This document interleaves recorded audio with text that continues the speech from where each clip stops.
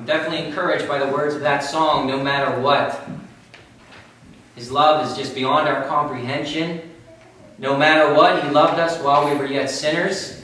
No matter what, He calls us each and every time we make a mistake and return to Him, seeking forgiveness and reconciliation, no matter what. The love of God is unlike any other love that is known in all of the universe, and how privileged we are to have a manifestation of this love through the death and suffering of Jesus Christ our Savior. A price so precious, a ransom price beyond our comprehension for us, no matter what. Uh, praise God. But let's just take on an attitude of prayer. Father, we just thank you for the encouragement that we've received through the praise and worship, and we know it's because you inhabit the praises of your people. Oh, Holy Spirit, remain with us. Our hearts are open to receive this word, and we ask that you would anoint it, that upon receipt of it, the eyes of our understanding might be opened, that our love for you might be strengthened, and that you might reveal to us a new part of yourself. We just thank you and praise you this day in Jesus' name. Amen. Sticking with the book of Ephesians this morning, uh, turn with me, if you will, to the second chapter, verse 13. But now in Christ Jesus, you who were formerly far away have been brought near by the blood of Christ. May the Lord add a blessing to the reading of His holy word. Just one more verse in your hearing. For He is our peace, who had made both groups one. And this is actually the operative verse this morning. And has broken down the barrier of the dividing wall. Thank you, Lord. When I was a missionary in Kenya, I had a friend, his name was Heron. And he said to me, shortly after my wife and I were married and moved there together, many of you know we lived there for three years, he said, when you have kids, then you'll be married. Heron had nine children. Perhaps he was teasing me, perhaps not. Perhaps he was alluding to the fact, and you can laugh if you want to this morning, that when I did have kids, then the hairs in my head would start to become gray and white, you know, my wife said to me recently, you get haircuts a lot. And I said, because the white hairs on my head are just coming in quicker than the browns did. But to whatever extent it was part of Kenyan culture that a marriage was cemented when the couple gave birth to their first child. Unbeknownst to me, this was an invisible barrier because Heron had children, and so according to his custom, he was married, but the newlyweds did not, and so their relationship, according to that custom, wasn't yet completely fulfilled. As I lived there, I became more aware of these invisible barriers. The differences between tribes creates great animosity between them. And if two people fall in love, just like the Montagues and Capulets of old from different tribes, it's frowned upon. And that couple can, in fact, be persecuted greatly, even in this hour that we live in, this contemporary society that we're a part of. Two of my best friends were from different tribes.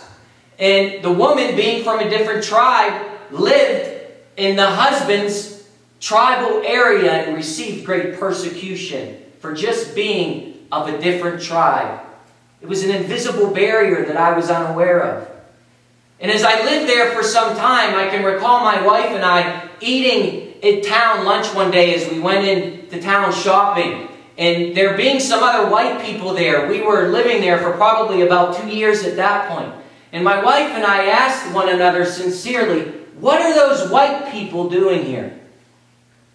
We had become so accustomed to the culture that we considered ourselves Kenyans, not white missionaries. And we became so assimilated within the culture that now we were the ones on the opposite side of the barrier asking, what are these missionaries? What is their business here? We're familiar with these invisible barriers in our society also. Sorrowfully, in the last few years, the news has been filled with the invisible barrier of race, people rising up against one another just because their color of their skin was different. In this part of the world, there are also cultural barriers. Italians declare that their food is the best. The Irish people say you can't cook potatoes like me.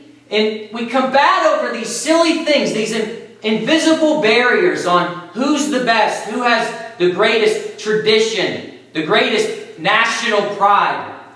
And while I think it's important to have some pride in our lineage, I don't think it's appropriate for us to look down on somebody else just because they're different, just because they have a different background or a different nationality.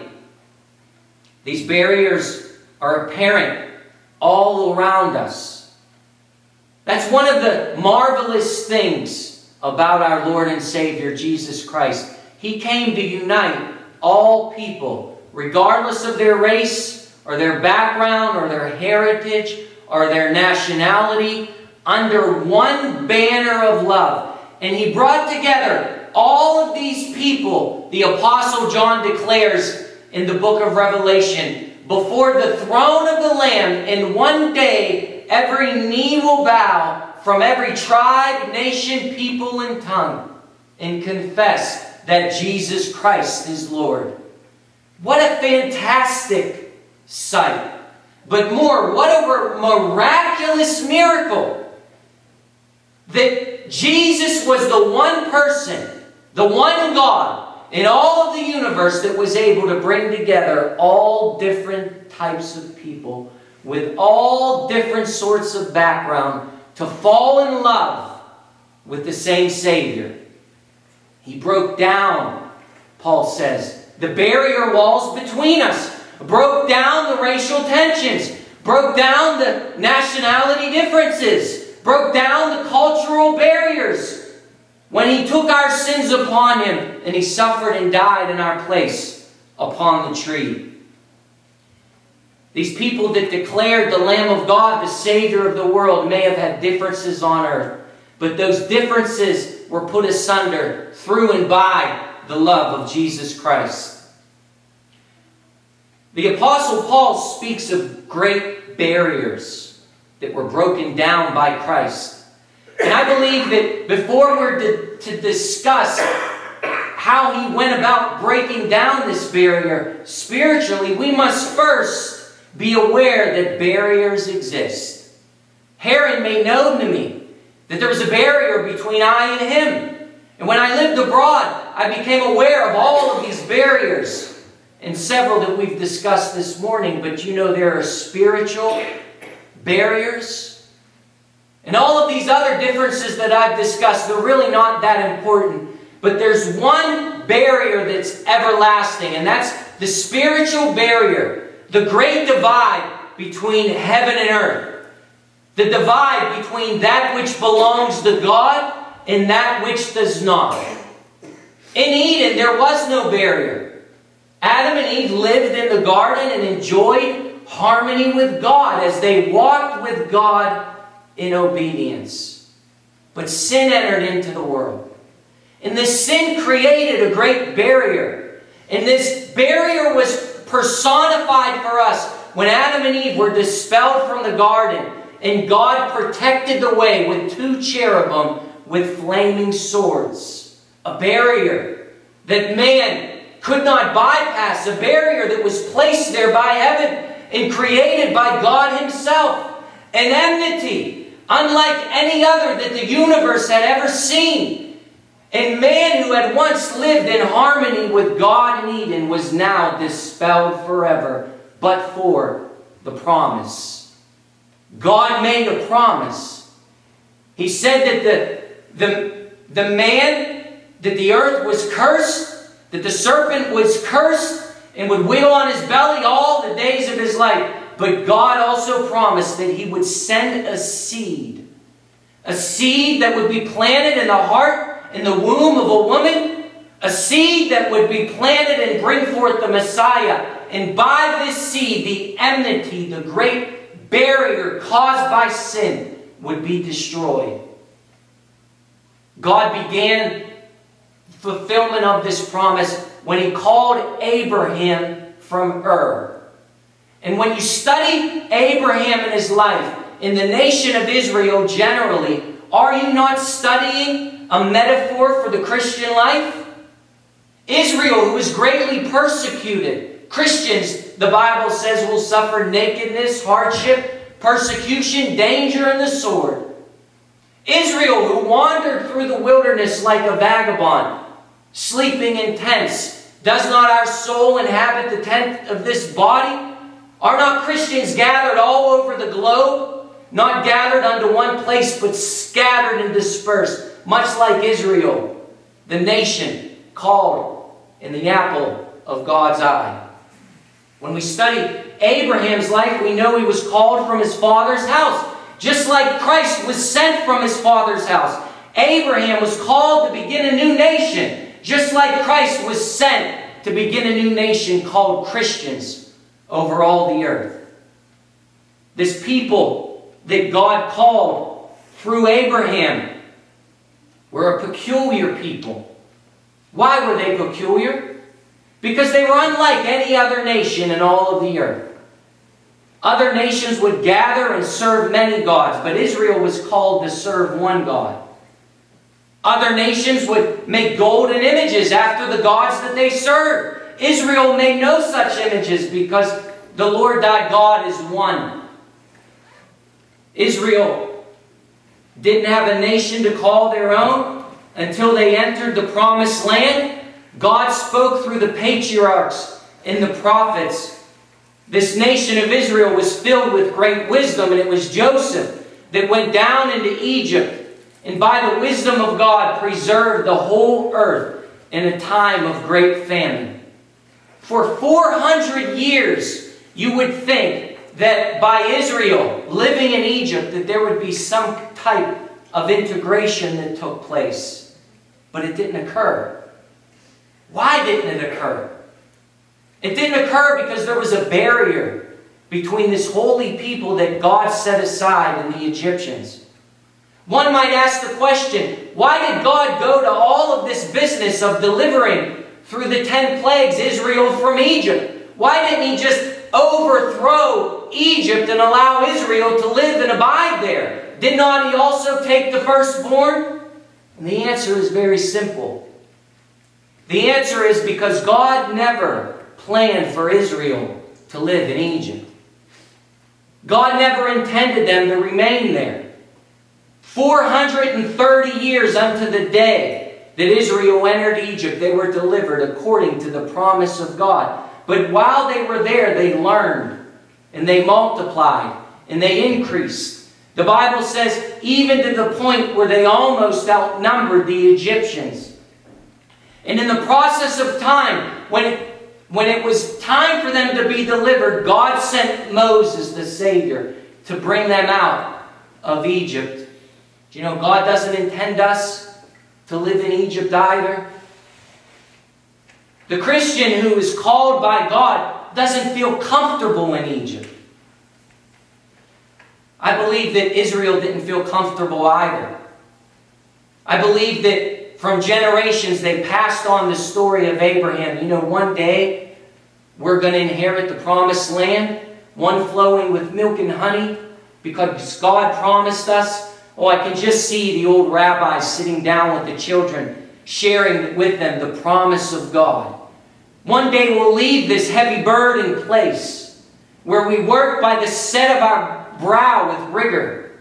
One day we'll leave this place and we won't be building pyramids for the taskmasters that rule over us, but we'll be building our houses where we can live and raise our children. I believe Israel was always uncomfortable in Egypt, and I believe that Christians, if they are Christians, are uncomfortable in the world. If you're a Christian this morning, you don't feel comfortable in the world. The laws of the world make you restless. This contemporary society that promotes how far it's advanced from generations by and by somehow offends you. In a social gathering, when you're with non-Christians, you feel out of sorts. To the extent you want to fellowship with them, it's to fellowship in order to share the gospel, to share the love of Christ, to bring them some hope or encouragement, to bait them out of the world by the love of Christ, to share with them something that, make, that, that will make them too feel uncomfortable in Egypt you see, there's a bar there was a barrier between Israel and Egypt, and there's a barrier for you, if you're a Christian, between you and unbelievers. We can hypothesize and read the scriptures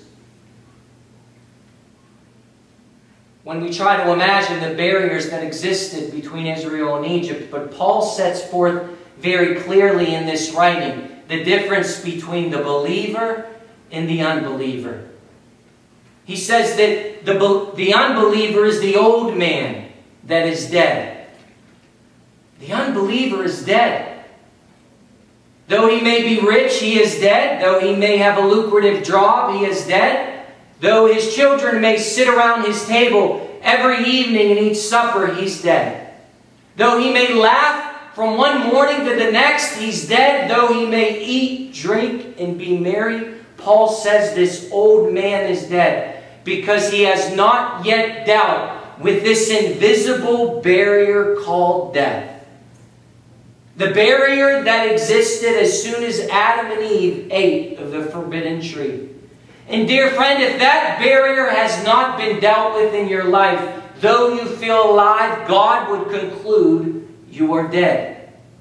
Paul also says this living man, this old man, is living for the age of this world.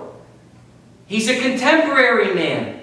He feels at home in the world. He longs to live in the world. He loves to be a part of the world, its progressiveness and its prosperity. And because he loves it, he vehemently defends it as any national would. Have you ever met Somebody so in love with the world, when you present to them the light of the gospel, though they live in darkness, they defend it with every atom of their being. Even when you present the truth of Christ, the truth of the gospel, the truth of light, the truth of love, and the truth of the fact that if they do not confess their sins and believe in their heart that Jesus Christ is Lord, that the barrier of sin and death cannot be removed. They sit opposed to it, vehemently defending their wrongfulness. Third, Paul says the old man is obedient to the prince of the air, Satan, who works in the son of disobedience.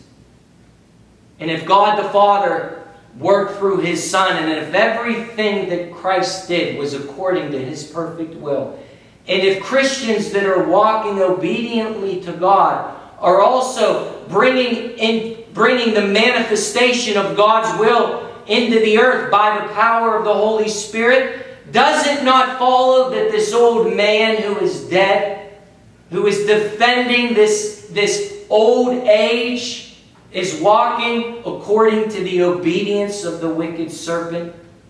This degradation in society is being propelled and motivated by sons of disobedience.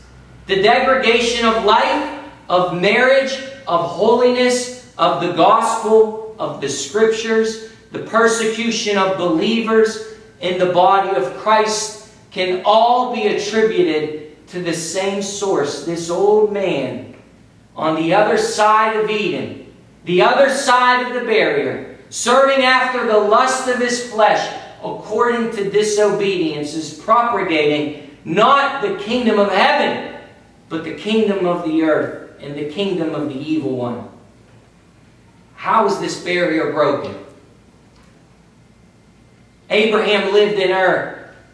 He lived on the other side of the barrier. But how was this barrier broken? It was broken by faith in God.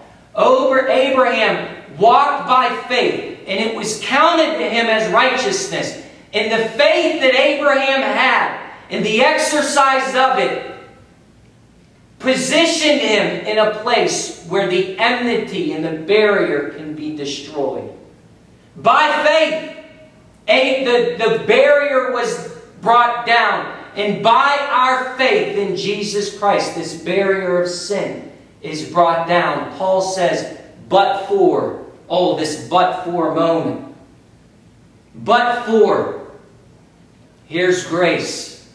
But God, here's the turning point of every testimony of one where the barrier has been brought down. But God, these are the words that cause every old man to become a new man. But God, all believers, just praise God for your own testimony. The words for every person that was caught in bondage on one side of the barrier, but God, the barrier being brought down, moving into a new life with Christ Jesus. But God, I was a drunkard. But God, I was a murderer. I was a thief. But God, in His mercy, brought down the barrier wall that stood between me and Him. But God is the turning point. Oh, where, are, where is your heart stand before God this morning? Are you on the opposite side of the barrier? Are you in Egypt and you need to come out? The opposite side of Eden, with the flaming swords of the cherubim before you. The opposite side of the cross, railing him with accusations. But God, under the inspiration of the Holy Spirit, is He speaking to you right now? Is this a turning point where God is moving in your life? But God. Oh, the power of heaven how, only Christ has the power to bring down the barrier of sin and death.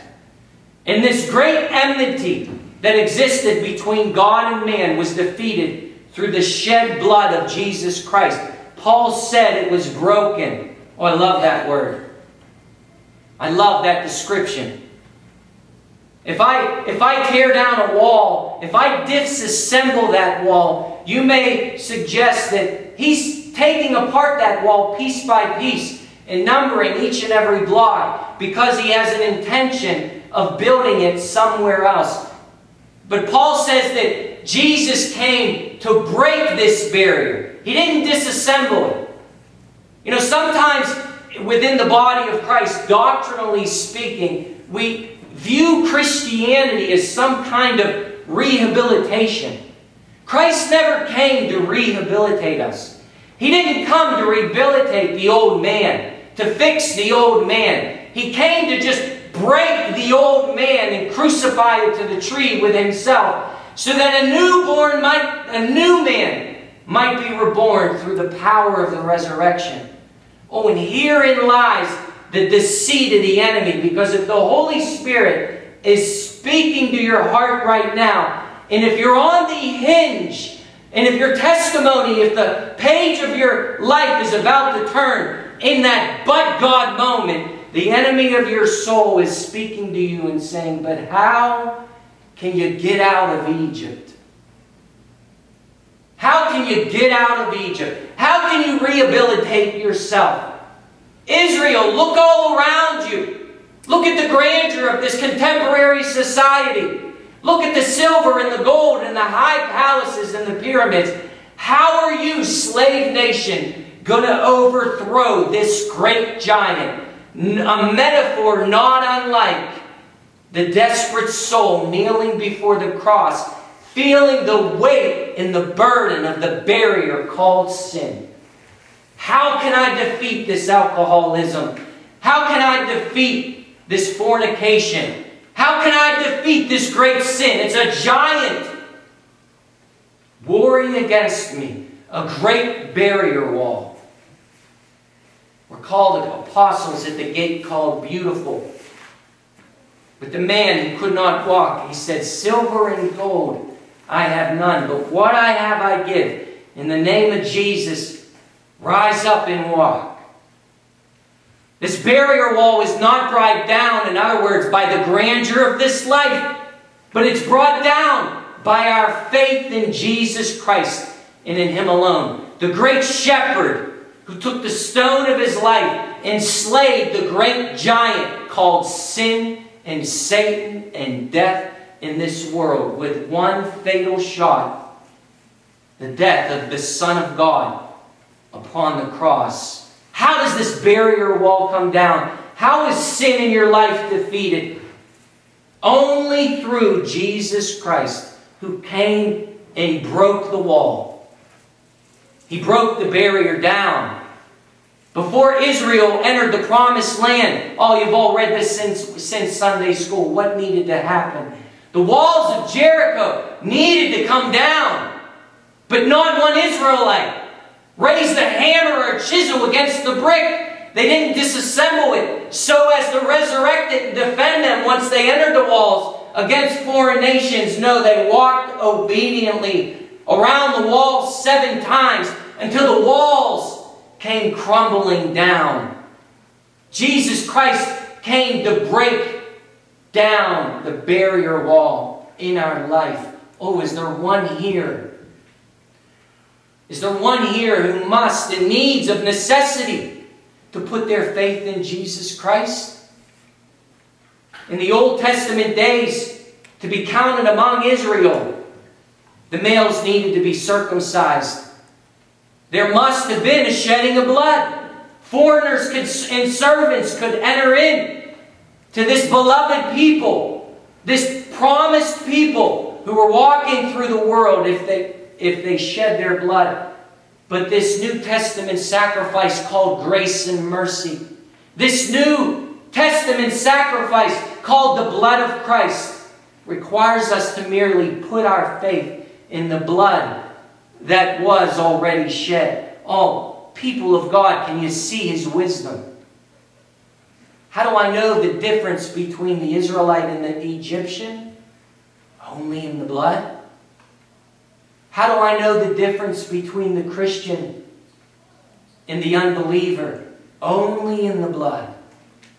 Our blood is not after the lineage of our parents, nor the nationality, nor the heritage. But those of us that are saved through the blood of Jesus Christ have received the transfusion. And we're not counted any longer among the sons of men, but among the sons of God. What happens when he breaks down this wall is he begins to rebuild us. And Paul says in this very same chapter, he says, You are his workmanship created in Christ Jesus. Let the flesh of your own body bear, bear testimony of the new life in you. Is God not able to create a human being? Does not his knowledge possess the workmanship to create a human being in Eden after his image and likeness and breathe into his nostrils the breath of life and give man the power within his own seed to propagate Thousands of years later, billions and billions and billions of people have lived according to the handiwork of God. Does not He also therefore possess the workmanship to rebuild you?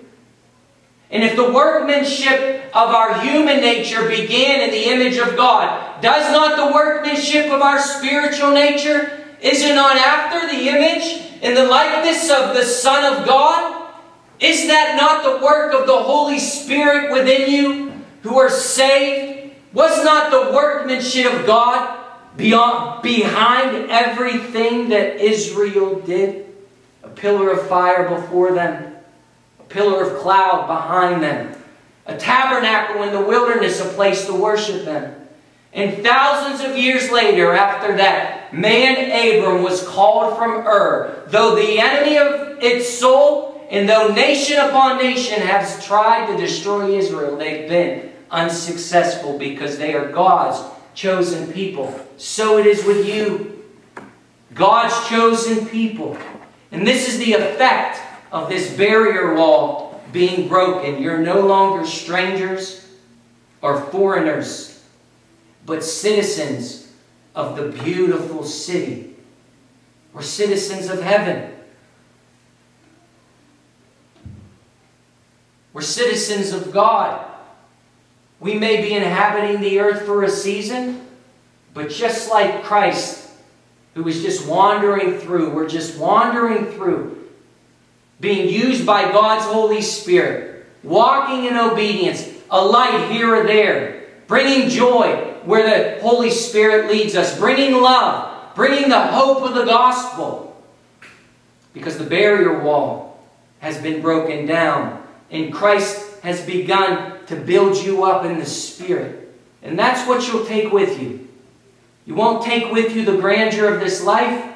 You won't take with you your house that you've built, nor the garden that you've planted. But what you will take with you is the way that you've been built by the Holy Spirit to mirror and reflect the image of His perfect Son, who is our Savior and King, Jesus Christ. Amen.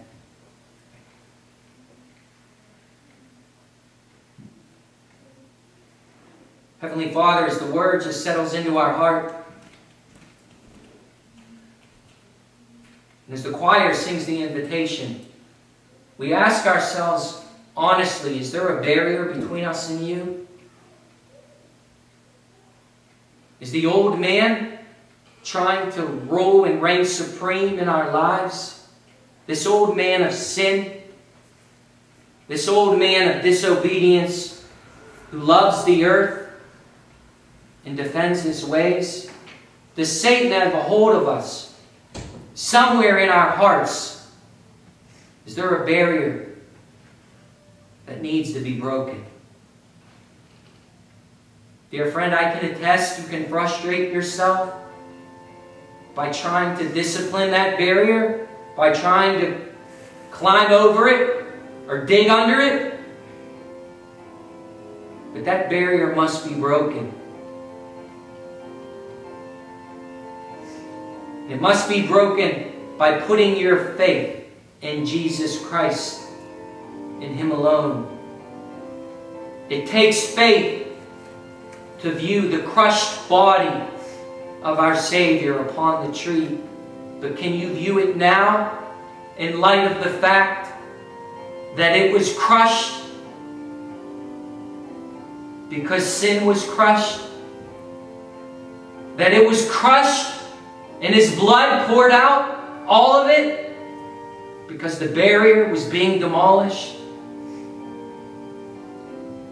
The Bible says when Jesus commended his spirit into the Father's hand, the veil of the temple was rent from top to bottom as a metaphor that we have access to God the Father. The barrier was brought down the moment that Jesus Christ died.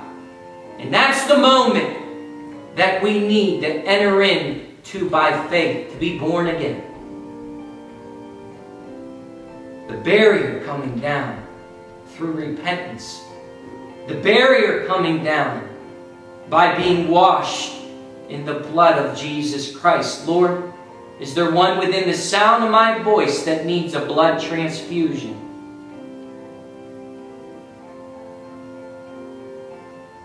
Is there one right now asking you to bring all the barriers down? Lord, we confess our sins because you're able and you're just to forgive us.